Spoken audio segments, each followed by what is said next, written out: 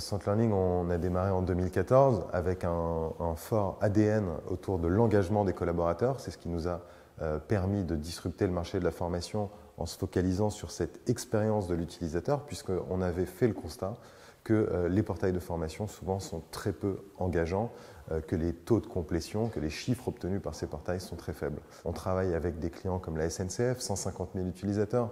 On a une vingtaine d'entreprises de, euh, de, cet ordre de grandeur auxquelles on apporte une solution complète pour gérer les trois grands sujets du directeur formation, donc l'admin, puisqu'il faut gérer des salles, des formateurs, il faut gérer la compliance, il faut s'intégrer avec les différents outils de l'entreprise, euh, le modèle de leadership, euh, puisqu'on veut faire grandir les salariés, les envoyer dans des carrières, et que c'est le but ultime de ces formations, euh, c'est de, matérialiser cette progression dans l'entreprise. Et enfin, la troisième partie, la performance, c'est quand un directeur de business unit, par exemple le directeur commercial, dit au directeur formation, bah, là je lance un produit, il faut former mes commerciaux.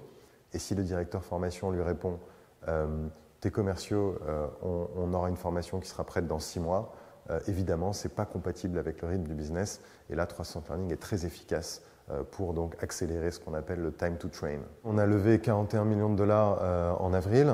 Ça nous a permis d'ouvrir deux nouveaux pays, le UK et les États-Unis.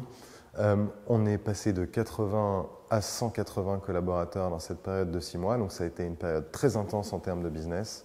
Euh, on est en train de doubler notre base client et on a réussi à signer une première trentaine de clients euh, entre les États-Unis principalement et l'Angleterre. Le collaborative learning, c'est principalement euh, deux choses. la première idée, c'est que apprendre n'est pas une activité solitaire. Si j'ai une interaction avec d'autres personnes, si j'interagis avec un formateur, si c'est une expérience collective, là tout d'un coup c'est motivant. C'est ce qui engage réellement l'utilisateur dans la formation. Mais le collaborative learning, ça va plus loin. C'est comment, grâce à ces données collectées dans les interactions, on peut résoudre des problèmes pour le directeur de la formation et pour l'entreprise. Par exemple, euh, les directeurs de la formation qui euh, font du numérique euh, se retrouvent très fréquemment, c'est quasi inévitable, à devoir maintenir un catalogue qui devient grand et garder à jour toutes ces formations est un vrai défi parce que le business évolue, l'état de l'art évolue, et tout d'un coup, une formation qui était à jour n'est plus à jour. Si on permet aux apprenants de le signaler, ça crée un dispositif efficace pour détecter les formations qui ne sont plus à jour et les mettre à jour. L'obsolescence des formations est la première raison pour laquelle ils trouvent que les portails formations ne sont pas très engageants, ne sont pas très utiles. Maintenir à jour euh, ces catalogues est un enjeu prioritaire.